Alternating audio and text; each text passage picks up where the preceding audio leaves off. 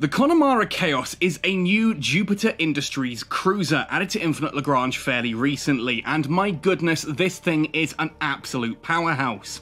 In today's blueprint breakdown, we're going to be taking a look at this brand spanking new cruiser, getting under the hood and seeing what makes it tick. Is it worth adding to your fleets? Is it better than the cruisers you already have? And if you do want to fly it, then how are you going to enhance it? Where do you put those precious tech points? Ahoy there folks, I'm Captain Benzie and welcome to another Blueprint breakdown video for Infinite Lagrange.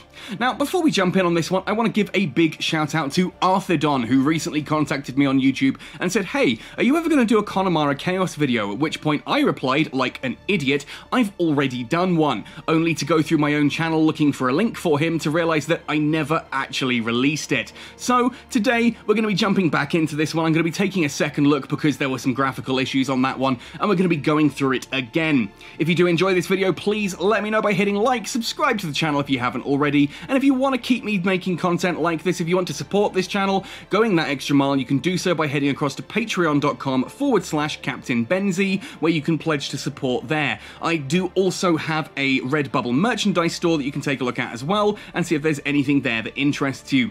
Right, let's have a look at the Conomara Chaos.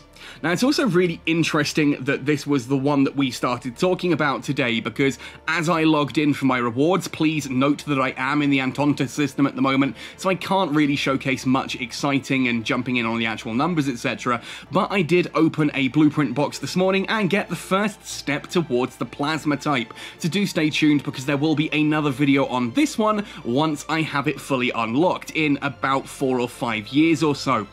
Now, as you can see with the Conomara Chaos, I have 67 tech points put into this bad boy already because I love this that much. And some people are going to call me crazy, but there are some explicit scenarios where this is just an absolutely kick-ass cruiser, and we'll talk about that in just a moment. Now, if you look at its combat roles, there doesn't actually appear to be all that much really in its favour. A B for anti-ship capability, C for anti-air, and C for siege doesn't really sell it that much, alongside a B for defence, and okay, a for sort of your industrial side of things and engineering, but who cares if it's particularly cheap? You know, uh, by this point you can build things like Callistos and Chimeras, so is the Conomara Chaos even worth it?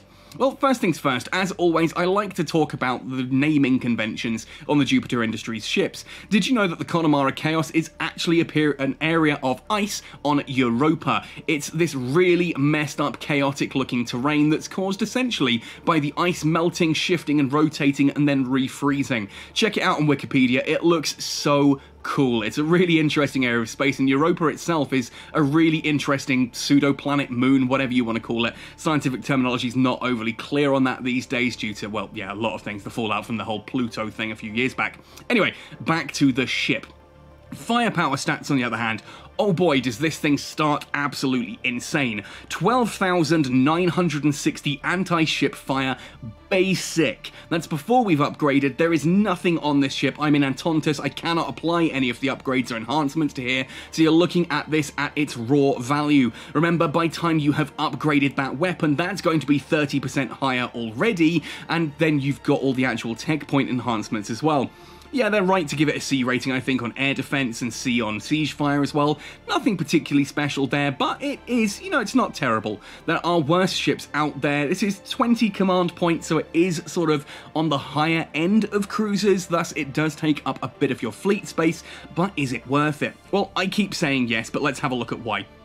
First of all, let's go into the additional propulsion system, because like many Jupiter Industries ships, the Conomara Chaos has built-in evasion, 15% as standard. That is not to be sniffed at, that makes the Conomara Chaos actually surprisingly difficult to hit, which means it doesn't take much damage, and then you can go in and you can enhance that evasion by a further 16% in total, and oh boy, this is pretty much the first thing I go for with the Conomara Chaos, just to give it that added survivability. If we were to have a look at its combat ro uh, roles, you will see that it is a middle row ship, which means anything like, say, a Chimera or a Casso 66 will be taking that firepower first, but you never know. And if, like me, you tend to be running frigate fleets with a few destroyers, uh, uh, like frigate and destroyer fleets with a few cruisers here and there, then I don't always have front row cruisers, which means the Conomara Chaos is going to be taking some of those hits early on. Thus, going for that additional evasion just gives it a wallop of extra survivability. For the actual propulsion system, things are pretty standard here. You've just got additional cruising speed and warp speed, nothing at all to get excited about there. Um, as we go in a little bit further, let's have a look at the armor system next. Now the armor on this isn't awful. 61,850 HP with 30 armor. It's a Jupiter Industries ship. They're fairly fragile, but this isn't as terrible as some of the other ones out there. And 10% shields is fairly nice. I mean, it's better than any of the Noma Shipping Group ships have, right? But if we go into the enhancements, everything here is pretty standard. Physical resistance, energy resistance, and ship HP. At this point, early on in building this ship, I wouldn't really worry about these. I do sometimes put in a bit of energy resistance there, just to push that all the way up to 20% uh, on its energy, uh, on its shield. That just helps it survive a little bit longer, especially with how many people are running things like Tauruses out there. Um, it just reduces the damage that those laser weapons use, and it is something that is worth considering. But the real fun with the Conomara Chaos starts with its bow railgun system. Oh boy, the AR-2500C bow-mounted railgun. It is a projectile weapon, so it goes up against the target's armor. It's got a really nice attack priority here. It goes after battleships first, then it absolutely pummels cruisers, then it goes for battle cruisers, um, so battleships, then carriers, then it goes after battle cruisers, cruisers, and auxiliary ships. So this thing is aiming at the big guys right from the start. There's still no battleships in Infinite Lagrange, so we're going straight in at carriers, and the damage this can do to carriers is monstrous, at which point it will then to start to rip apart their battle cruisers and then rip apart anything that's left at that point. Obviously, after auxiliary ships go on, it does aim for the smaller ships, but being a railgun, it doesn't have much in the way of particularly strong hit. It is a lot of damage per hit though on this thing, and it does fire relatively quickly for a railgun, designed against large targets, but the real fun comes here in the tech point enhancements.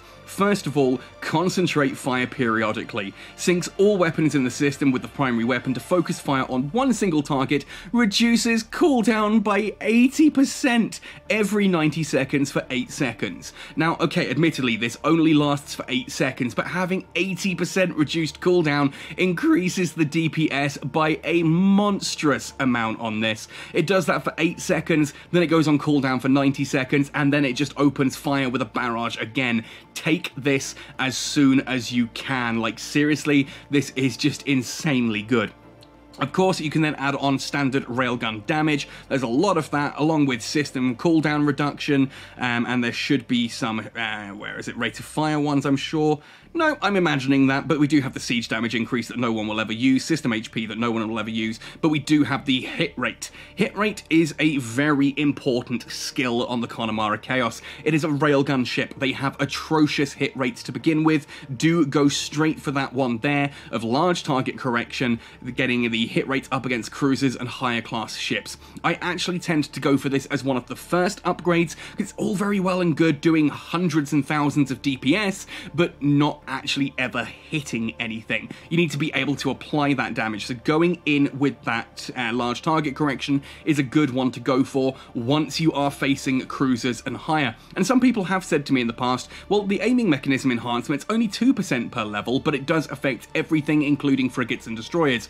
And I've said before, if you are going after frigate and destroyer uh, like fleets, then don't bother with the Conomara Chaos. This thing is designed for taking out the big boys. If it's going after frigates and destroyers, it is going to struggle to hit even with that maxed out, even with the support ship, which I'll be talking about in just a moment. No, this is very much an anti-cruiser, anti-battle cruiser, and anti-carrier ship. It will rip those apart as long as you build it correctly. It will not do so well against frigates and destroyers, even with all the enhancements you can throw at it. So, go for the uh, against cruisers and higher class ships first, then take that concentrate fire periodically, then go after your railgun damage and your cooldown reductions. Now, I tend to go for one of the EM ammo enhancements first, then come back for the loading mechanism upgrade, because you already have a massive reduction to your cooldown over here, and I would rather maximize the amount of damage I can be putting out in that time. And even with the full weapon system cooldown reduction of both of these, you only get base basically one or two extra shots in that 90 second, in that 8 seconds, sorry, compared to how many it would have without those upgrades. At which point, one or two extra shots, you can get a lot more damage out of going for the straight up railgun damage to start with. So go for those, then come back for the weapon system cooldown enhancements, and this thing just becomes monstrous. But I did mention it kind of requires a little bit of support, and this is where things get a little controversial with this ship. And I know some people absolutely hate it when I like recommend this, but I do say if you're going to use something like the Conomara Chaos, then we also need to talk about some of our destroyers. Because if we go down in the destroyer menu here and look at the Ceres, we are of course talking about the tactical type. I've done a video on the Ceres destroyer already, and the tactical is absolutely bat guano crazy. This is such an underestimated ship. And people say, yeah, but it's 8 command points, Benzie. You're adding an extra 8 command points to your fleet that could be better used with, like, Callistos or something else. And I sort of agree to a certain point, but the Conomara Chaos is just so much fun watching it just open fire with that railgun that adding one Ceres tactical destroyer for every three Conomara Chaos you have just is so worth it. If you're not sure what I'm talking about, it's the tactical UAV system. There is a prioritized support strategy here, which when your fleet includes cruisers, it prioritizes the fire support for them by dispatching aircraft, increases the airport uh, aircraft support duration by 30%. Essentially, this thing has three surveillance UAVs. These will each attach themselves to a friendly ship, and if you've got that upgrade, it will prioritize cruisers. It will attach itself to three cruisers and massively increase their hit rate. And again, people say, but yeah, again, it's eight command points. Yeah, it's eight 8 command points per 3 destroyers. And I get it, per 3 cruisers, sorry. I get it. You could be going straight in for something like the Callisto um, anti-ship type. Again, it's 20 command points, it's the same amount, and it doesn't need all of that, right? Well, no, it doesn't need that additional support from the Ceres, but it's also not quite as good at hitting some of those big ships, because a lot of those big ships have anti-missile capabilities, and they intercept those torpedoes. Whereas a railgun, there ain't no intercepting a gigantic metal slug shooting across space at the speed of sound. Ultimately, the Conomara Chaos does some rather effective damage. I do strongly recommend having the Ceres tactical type in the fleet. For every three Conomara Chaos you have, have one Ceres tactical. Ultimately, if you do end up building the full complement of 8, do go for the 3 Ceres tactical, because otherwise you've got two of these that are unsupported. It's better to have that one additional UAV supporting a random ship in your fleet. But yeah, again, I like to go for fleets that are mixes primarily of destroyers and frigates with a couple of cruisers sprinkled in. So for me, a destroyer fleet that has 8 Conomara Chaos in it deals absolute havoc to everything. Now let me tell you a story from the end of my last server. I don't normally like talking about what happens on my servers, but toward the end, I moved back kind of to where I'd first started with an advanced mining platform, and I just set up there to go and do a bit of roaming and PvP and stuff, um, because it's the end of the server and who really cares. And this one guy just decided that he was going to try and completely table me. Now, I had two fleets blockading my advanced mining platform. I got a whole ton of notifications late at night. It was a bit too late for me to bother logging in, and I thought to myself, ah, screw it, if I've lost my fleets, we've got like two, three days of server left, does it really matter? I logged in the next morning to find no fewer than 16 combat notifications. My two fleets had managed to take out eight of his invading fleets. He had then tried to take on my base, um, and just utterly failed against that with the defense fleet that was garrisoned there and the Conomara Chaos had just done absolute wonders. That entire destroyer and cruiser fleet had barely taken any damage and had absolutely bodied eight incoming attackers of various mixes, including a fleet made primarily of battle cruisers. It was like three, um, three of the Marshals and a, cu a couple of the uh, Spear of Uranus and stuff like that and it just it, felt amazing to wake up the next morning and go oh well okay i'm probably in emergency like recovery right now. What's happened? And then i just wet myself laughing. I then sent my conomara chaos fleet and my other fleet which had a couple of uh, like smaller ships mainly destroyer fleet um, and took out his entire operation um, using just two fleets very quickly with no casualties whatsoever absolutely crazy, so much fun, and I genuinely put that down to the fact that it was a small, fast, mobile fleet. I had Conomara Chaos in there at the back, in the well, in the middle, I suppose, supported by Ceres Tacticals. I had a load of things like Quawas in there, um, the torpedo ones, a load of Taurus, Taurus uh, offensives. Um, just my usual kind of frigate and destroyer fleet, some Reliats, uh, Reliat stealths, um, a load of the Mare Serenitatis, um, some Xeno Stingers, of course, because if you're going to run a frigate fleet, you need Xeno Stingers because those things are just incredible. But what an experience just to see the amount of damage that these ships had put out against him because he'd come thinking, oh, I've got big old battle cruisers and cruiser fleets, and my Conomara Chaos just were having none of it. He couldn't hit anything, I took almost no damage. My Ceres uh, support were just healing everything up with no qualms whatsoever, um, to the point I actually have one of the new auxiliary ships in that fleet as well, and just the ability to heal outside of combat is incredible. I really need to do a video on that one as well. But anyway, I'm now at the point of rambling on. I love the Conomara Chaos. Okay, people are going to say it's not S tier. It's probably not S tier. It's fairly niche in the fact that it is kind of, it feels like a cruiser designed for destroyer fleets um, to help them take out those bigger targets when something comes along. But when one of those bigger targets comes along, oh boy, these are just so much fun. And the more I'm looking at the plasma type, oh boy, bow-mounted plasma caster. That just sounds incredible. I cannot wait to hear about this superior firepower, energy weapon, high evasion. Yeah, used for adjusting ship angles to boost the ship's survivability in combat. Experimental plasma casters capable of direct fire. I can't wait to unlock this one, and I will of course do a video the second that I get it. Anyway, folks, maybe you, you've you've used the Conomara Chaos in the past. Maybe you think I'm completely wrong about this and I'm missing something critical. Please do let me know in the comment section down below. I love having a chat with you folks about Infinite Lagrange, about some of the maths, because there have been times where I have genuinely made mistakes. Notably in my mining video, which I've had people correct me. The comments are pinned on that one, um, just to because I think I, I believe in owning up to mistakes and saying, right, okay, well, that, I was wrong about that. Let's talk about it. If you think I'm wrong about the Conomara Chaos, let me know. I would love to know your thoughts and opinions, but please don't come at me with, oh, well, I disagree because so-and-so put it at, at, a, at a B plus in his tier rating. Tier ratings are absolute crap in Infinite Lagrange. People throw together fleets of supposed S-rated ships, only to get absolutely bodied by a well-crafted fleet of supposed B-rank ships, because those B-tier ships work together perfectly and just absolutely body this eclectic fleet of supposedly S tier.